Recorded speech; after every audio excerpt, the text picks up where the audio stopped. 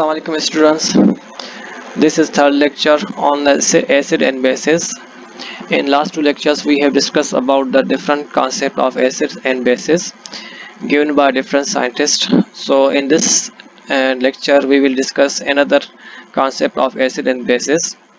Uh, so before proceeding to the this concept let's uh, take an overview of the previous lecture in previous lecture we discussed about the Arrhenius concept. Uh, according to the Arrhenius concept an acid is a compound that releases the proton ions in a water and a base is a compound that releases the OH ions in a water. Uh, while Bronsted-Lowry described an acid any molecule or ion that can donate a proton while a base is any molecule or ion that can accept a proton. So according to the Lewis theory an acid is an electron pair acceptor and a base is an electron pair donor. Let's suppose A is represent uh, A is represent the acid and B is represent the base. Then the fundamental equation of the Lewis acid can be written as like this one. Lewis pictured an acid and base as sharing the electron pair provided by the base this creates a covalent bond or a coordinate bond between the Lewis acid and the Lewis base. The resulting combination is called a complex. It may be noted that all the cations or molecules short of electron pair act as a Lewis acids and all the anions or molecules having a lone pair of electron act as a Lewis bases. Let's take examples of Lewis reactions. First, between the proton and ammonia, the Lewis reaction between the proton and ammonia can be written like this one. Proton is a Lewis acid. It can accept electron pair from ammonia and ammonia is a base. It can donate electron pair to the acid. The reaction between the proton and hydroxide the reaction between proton and hydroxide is a like acid-base reaction. The proton act like acid and hydroxide act like a base. Hydroxide donate a pair of electrons to the proton and form a complex. Lewis reaction between the boron trifluoride and ammonia. Boron trifluoride has a 6 valence electrons with the boron atom which can accept an electron pair and is a Lewis acid while the nitrogen atom of ammonia has a lone pair of electron and is a Lewis base. Hydration of a metal ion such as aluminum is also a Lewis reaction. In this reaction, aluminum or metal ion act as a Lewis acid. They can accept an electron pair from a Lewis basis they can form a complex. The advantages of the Lewis acid bases.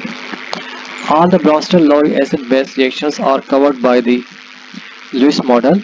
It is so because the transfer or gain of proton is accompanied by the loss or donation of electron pair in both types of reactions. Many reactions which do not involve transfer of proton, for example, boron trifluoride and ammonia form a complex also covered by Lewis theory because there is no transfer of the proton. So we have three models Arrhenius model, Bronsted-Lowry model and Lewis model. Arrhenius described acid as a proton producer while the base is a OH ion producer. Bronsted-Lowry defined the acid as proton donor and base as a proton acceptor. And last, Lewis described acid an electron pair acceptor and a base electron pair donor. Now let's discuss hard and soft acids and bases principle. Hard and soft acid-base principle is a qualitative concept introduced by the Ralph Pearson to explain the stability of the metal complexes and the mechanism of their reactions. According to the hard and soft acid-base principle, The Lewis acids and bases can be further divided into hard acid and bases, secondly soft acid and bases, and finally borderline types of acid bases. Lewis, hard Lewis acids. They are small in ionic radii, highly positive charge, strongly solvated, empty orbitals in the valence shells, and with high energy of LUMOS. While the soft Lewis acids are large in ionic radii, low positive charge, completely filled atomic orbitals, and with low energy of LUMOS. Hard Lewis bases are small in ionic radii, strongly solvated, highly electronegative, weakly polarizable, and with high energy of HOMOS. On the other hand, soft Lewis bases are large in ionic radii, intermediate electronegativity, highly polarizable, and with low energy of HOMOS. While the borderline Lewis acid and bases have intermediate properties.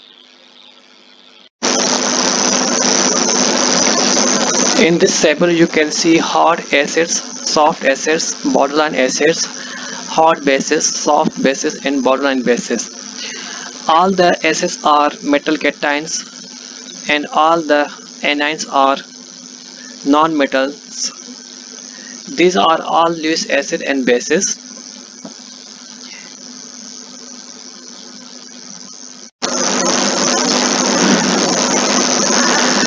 Examples of some metal cations are Lewis acids.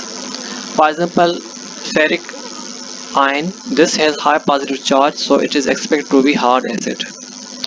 Iodide. This is a large anion with low electronegativity and low charge. It is ex expected to be a soft base. Methyl ion. This is an anion, so it's probably a base.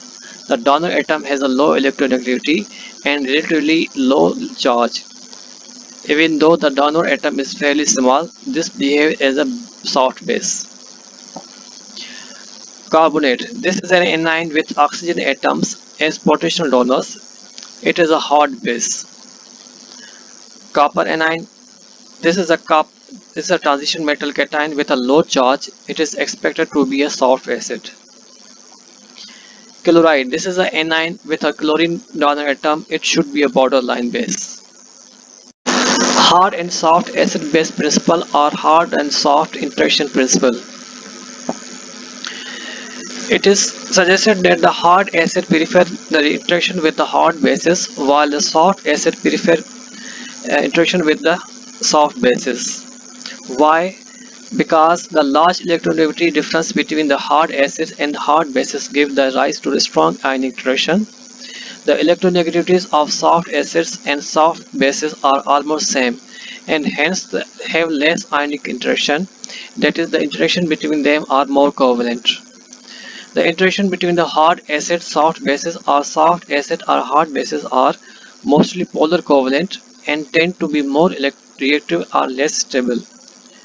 The polar covalent compounds readily form either more or ionic or more covalent compounds if they are allowed to react.